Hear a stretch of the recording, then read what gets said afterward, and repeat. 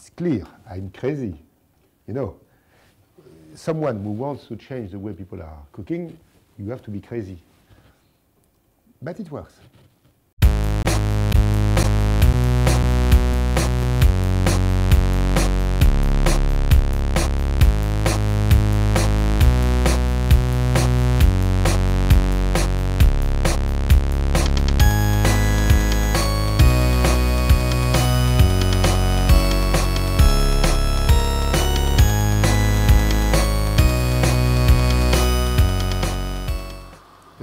Nutrition, I don't care. Dietetics, I don't care. Uh, health, I don't care. Only cooking. What's, go what's going when you cook?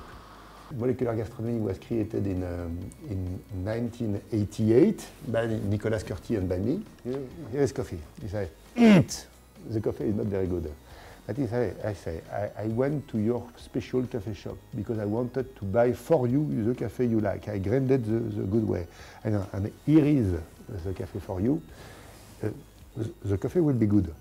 And the question is not, is not a technical question, it's not a question of making the coffee, it's not a question of the, uh, adding some salt or sugar or something. No, no, no, it's not art, it's not technique, it's, I called this love before because I want you to be happy. When you make a mayonnaise, you have an egg yolk, it's liquid. You have oil, it's liquid, and you make something which is a mayonnaise, an emulsion, it's hard. Why? This is our question.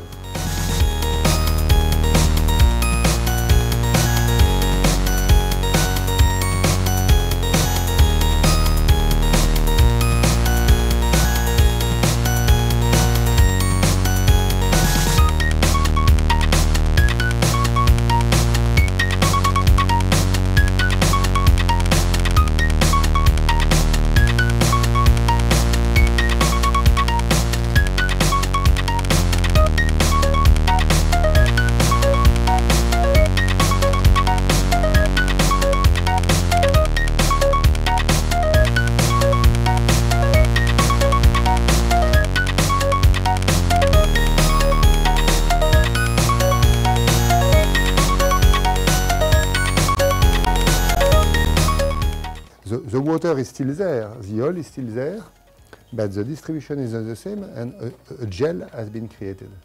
So I came to Pierre asking him the question, Pierre, how do you manage to make the right amount of salt for everybody? Because some people don't like salt, many, many other people like it uh, very much.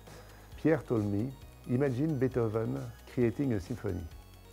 Nobody will ask him to add, to add one violin. The, the composition has been done, the number of viol violin has been designed, there cannot be one violin more or less. And then salt quantity is not a cursor with more or less. It's a composition. It has nothing to do with science. It's only art. If you have a, a poor sandwich with very good friends, it's always good.